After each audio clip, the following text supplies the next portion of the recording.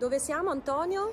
Siamo uh, in fondo a via Nazario Sauro, esattamente nel punto dove fino al 1943 esisteva la porta del Poggiale, una delle porte della seconda eh, cerchia di mura, eh, distrutta appunto da un bombardamento. Vedete in alto una targa collocata nel 1956 dal Comitato per Bologna Storica Artistica che riproduce esattamente la porta distrutta e il dipinto seicentesco collocato eh, sopra.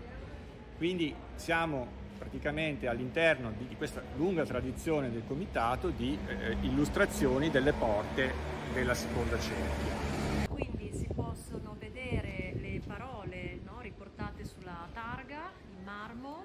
Qui era nelle mura penultime della città la porta del Poggiale, distrutta dai bombardamenti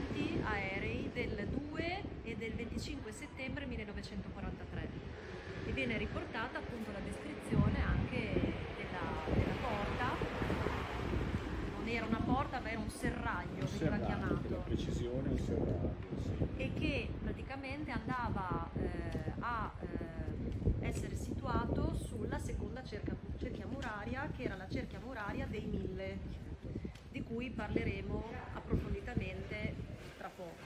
Si trattava di un arco appunto sesto di mattoni e eh, all'interno sopra eh, si vedeva un affresco appunto della seconda metà, fine del Seicento, di Guaini, un allievo di Carlo Cignani, allievo collaboratore di Carlo Cignani e di Marcantonio Franceschini, citato in tutte le guide, eh, distrutto.